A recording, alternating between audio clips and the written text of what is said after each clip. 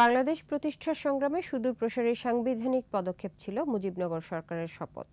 মুক্তিযুদ্ধ পরিচালনার পাশাপাশি আন্তর্জাতিক সমর্থন আদায় এই সরকার গুরুত্বপূর্ণ ভূমিকা রাখে। অস্থায়ী সরকারের বিরুদ্ধে নানা ষড়যন্ত্র থাকলেও বঙ্গবন্ধুর রাজনৈতিক সহচর, জাতীয় চার নেতার বুদ্ধিমত্তা ও দেশপ্রেমে প্রশস্ত হয় মুক্তির পথ। মানিক শিকদারের দুই পর্বের একুশে স্পেশালের দ্বিতীয় পর্ব আছে একাত্তরে হানাদার পাকিস্তান সেনাবাহিনী বাঙালির উপর গণহত্যা শুরু করলে বঙ্গবন্ধুর অনুপস্থিতিতে আওয়ামী লীগের নেতারা স্বাধীন বাংলাদেশের সরকার গঠন করেছিলেন।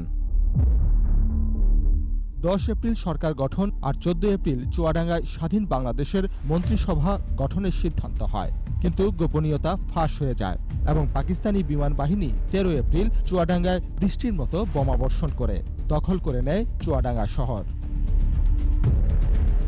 ওই বিপর্যয়ের পর প্রধানমন্ত্রী তাজউদ্দিন সিদ্ধান্ত নেন শপথ গ্রহণের দিনক্ষণ ও স্থান তিনি কাউকে জানাবেন না। পরে ভারত সীমান্তের কাছে মেহেরপুরের বৈদ্যনাথ তলায় পাকিস্তানিদের নজর এড়িয়ে সতেরোই এপ্রিল আনুষ্ঠানিকভাবে শুরু হয় এ সরকারের পথ চলা।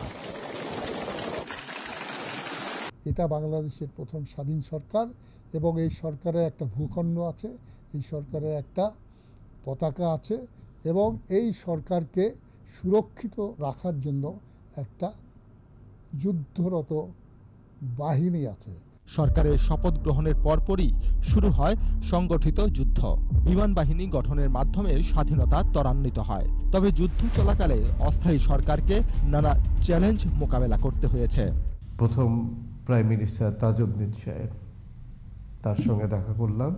তাকে আমরা বললাম আমাদের প্রস্তাবনা। উনি অনেক কষ্টে দৌড়াদৌড়ি করে, অক্লান্ত পরিশ্রম করে বাংলাদেশ বিমান বাহিনী গঠন করার সাফল্য লাভ করলেন। চার নেতার ধৈর্য, সাহস আর দেশপ্রেমে নয় মাসের মুক্তিযুদ্ধে স্বাধীন হয় বাংলাদেশ। মানিক শিকদার, একুশে টেলিভিশন, ঢাকা।